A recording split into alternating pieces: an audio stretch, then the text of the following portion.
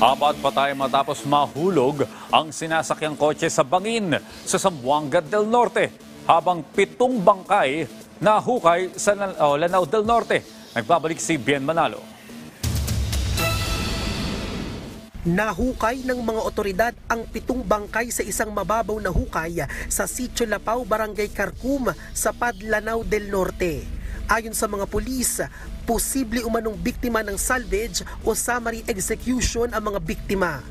Kabilang sa mga bangkay na natagpuan ang katawan ng tatlong babae at mga labi ng apat na lalaki. Tukoy na ang pagkakakilanlan ng apat na biktima habang inaalam pa ang pagkakakilanlan ng tatlong biktima.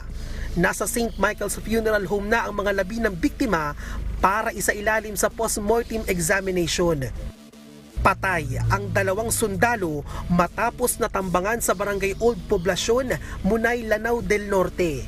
Sa investigasyon ng mga sundalo, sakay ng motorsiklo galing sa Piagapo ang mga biktima na patungo sana sa Munay, Lanao del Norte nang tambangan ng pinaniniwala ang miyembro ng DIMG na nauugnay sa grupong Katab na kumikilos sa lugar.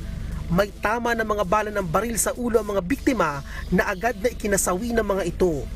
Patuloy ang investigasyon ng mga otoridad sa insidente. Dead on the spot ang apat na individual matapos mahulog sa bangin ang kanilang sinasakyang kotse sa Siasan, Zamboanga del Norte.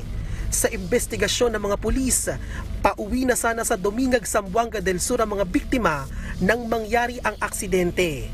Ayon sa ilang saksi, dumiretso sa bangin ang kotse pagdating sa palikong bahagi ng daan at makailang beses na gumulong kaya't tumilapon ng mga biktima na malubhang nasugatan sa iba't ibang bahagi ng katawan. Patuloy naman ang investigasyon ng pulisya sa insidente. Bien Manalo para sa Morning Show ng Bayan, Rise and Shine, Pilipinas.